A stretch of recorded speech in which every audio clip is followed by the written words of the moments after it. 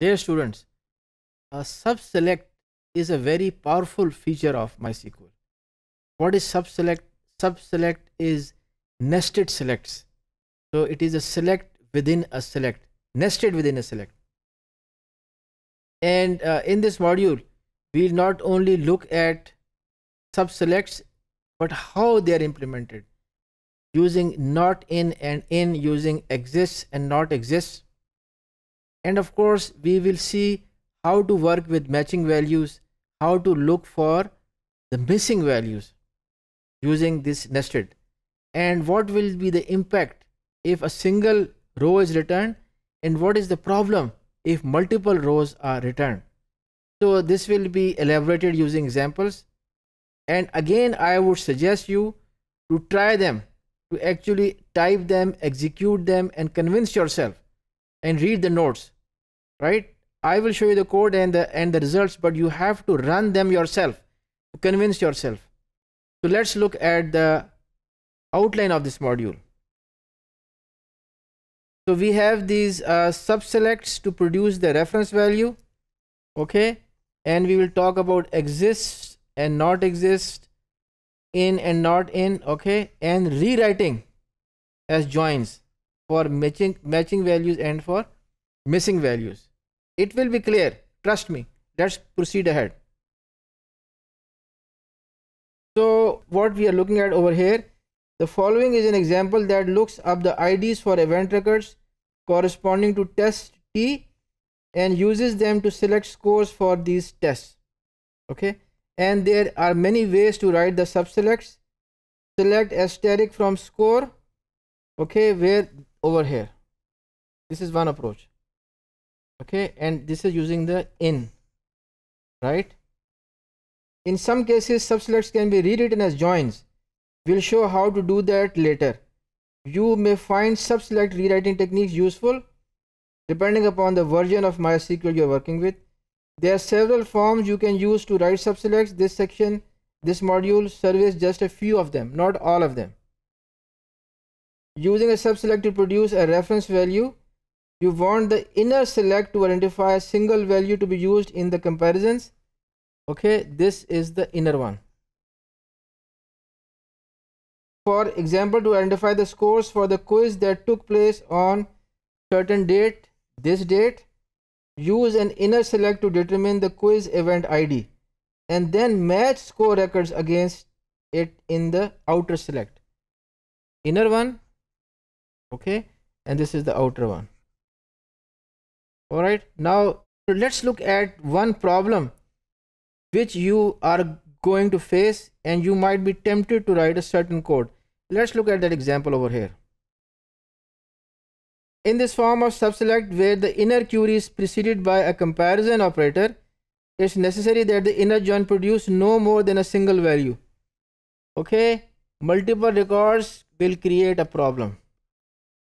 Will create a problem if it produces multiple records, the, the query will fail.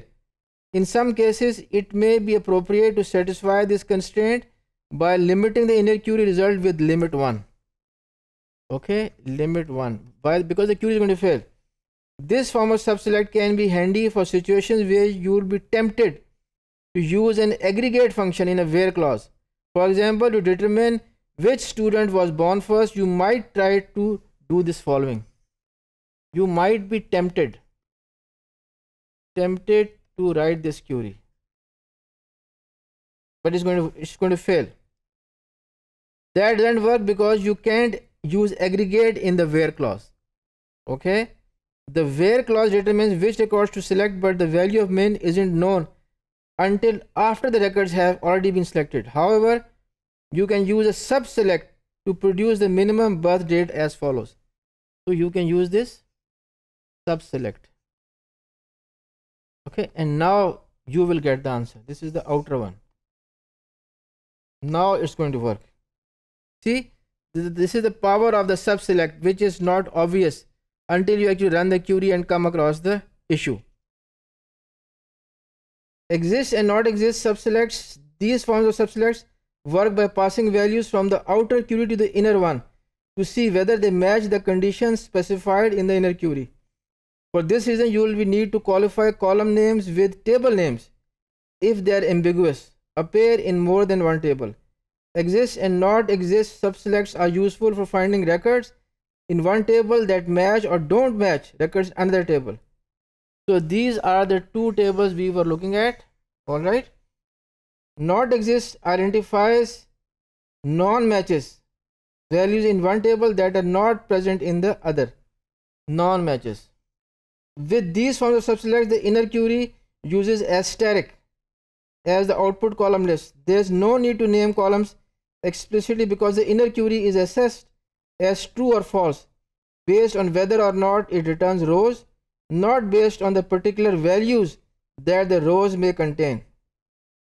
Based upon true or false. Understand? In MySQL, you can actually write almost anything for the column selection list but if you want to make it explicit that you are returning a true value when the inner select succeeds you might write the queries like this. Like this and like this. So let's look at the in and out subselects. The in and out forms of subselect should return a single column of values from the inner select to be evaluated in a comparison in the outer select. Okay? Single column of values single column of values. For example, the preceding exists and not exists queries can be written using in and out syntax as follows. The previous one, you can write them using in and not in. Okay. And if you go back, you can see that these results, if you go back to the previous module, which I'll show you, these are the same results which we were getting using the exist and non-exist which we can get using in and out. Now let's look at finding matching and missing values. For the versions of MySQL prior to 4.1 subselects were not available. However, it's often possible to rephrase a query that uses a subselect in terms of a join. In fact, even if you have MySQL 4.1 or later, it's not a bad idea to examine queries that you might be inclined to write in terms of subselects. A join is sometimes more efficient than a subselect. So you have this query over here, okay, and using the in, and the same query can be written without a subselect, without a subselect by convert into a simple join. Okay. Similarly, we have another query over here, okay, with subselect this is subselect over here and you can use it using a join and have the same results for the matching values. And for the missing values what you do is that for the missing value you use the not in and they are the same equivalent. So this is the power of the subselect and writing them instead using joins. So that's all I have for this module.